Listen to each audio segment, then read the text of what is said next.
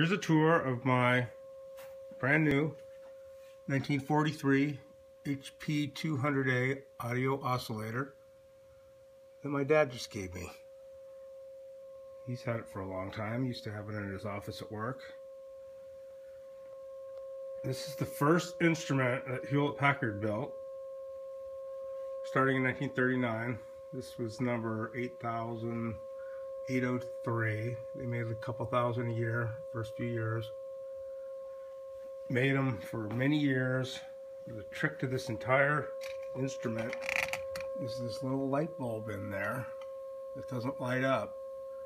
That was the subject of Bill Hewlett's master's thesis at Stanford to use that light bulb to control the amplitude automatically with a nightlight bulb.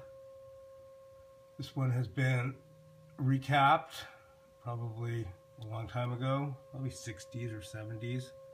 I think it needs it again. There's a few problems. Some of them were kind of iffy looking, like that one. Starting to come apart. It's got a lot of output. It weighs about 25 pounds. It's got three big transformers. Just this little speaker.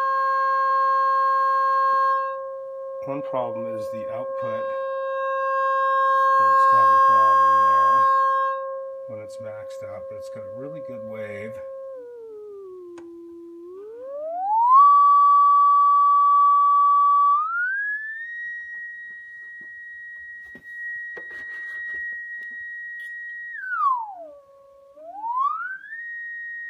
We'll go down to the lowest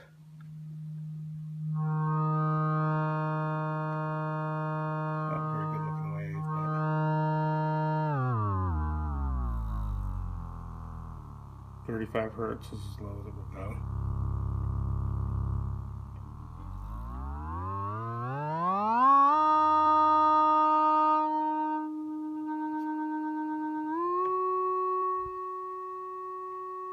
Slowest range,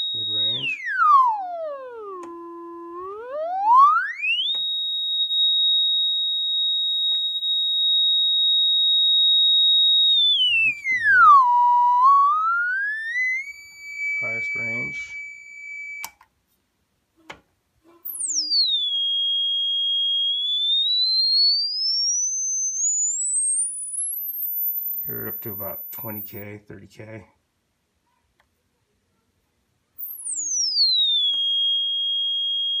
Does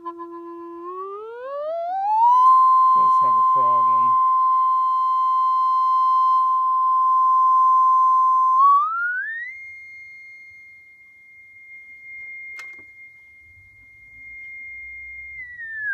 Does have a problem where the amplitude changes when you change the frequency, which it's not supposed to do.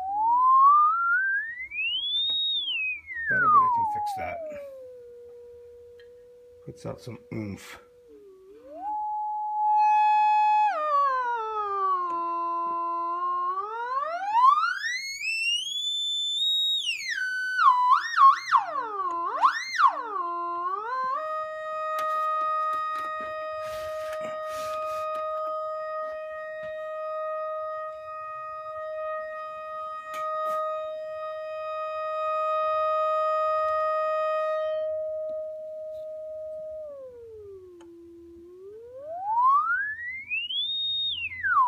Cool, huh?